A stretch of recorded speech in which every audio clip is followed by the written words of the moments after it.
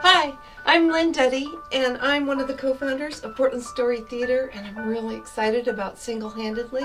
I'm going to be telling a story this um, during this festival, and it's called Irish Soul. It's a beautiful story about nature versus nurture.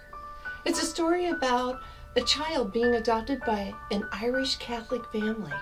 It's about finding identity and tribe and belonging, and it's really about, you know, how people can convert to religions, but can people convert to being Irish? We all have these once in a lifetime chance meetings, brief opportunities that can make or break our lives and determine the whole path of our future. My story is about choices, chances, taking a risk and going for it. My story is called Teenage Commando. Basically, it's what happens when Napoleon Dynamite, me, meets Rambo. It's a true life comedy action adventure, and it's the first time that I have ever told this story publicly, so I'm scared off my ass that the police are gonna break in and take me to jail. Kaboom! My name is Nico, and uh, my story is about an American teenager's freshman year in Norway. What is folk high school? How do you eat lutefisk without gagging? And most importantly, how do you get with the ladies using a limited vocabulary? Oh, hi. I'm Enrique Andrade, and I'll be telling you a story about drama, a world of medical issues and legal realities. My story, Interpreting America with a Queer Face, by Enrique Andrade. Well, that's the name of my story. It's called Resurrection. It's about my journey of reconnecting with myself and with my family.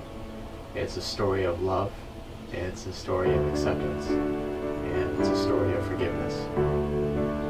Well, I, I'm telling a story at single-handedly this year about growing up in Alaska, and I talk about what a unique and special experience it really is. I talk about rainforest-covered mountains and crazy hermits, and, and about longing, deep, deep longing, and that connection with nature. My story is called The Night on the Island, and it's about this time when I was 16 years old, and I spent the night under a canoe, huddled under my canoe, uh, in this fearsome, fearsome lightning storm on this little tiny island in a great big lake, miles and miles and miles away from civilization.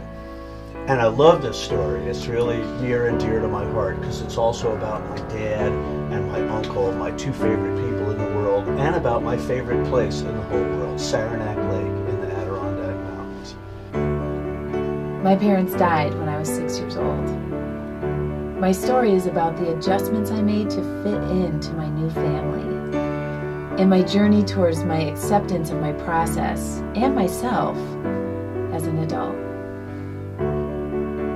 I've always wanted to tell this story, and now at Single Handedly, I have the chance to do that. My story is called The H Words, and it's about uh, words in our language that start with the letter H, and short stories about how those words have affected my life.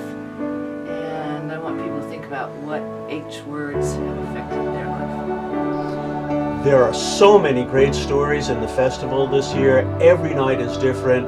I really hope that you'll come and hear them all. It's going to be.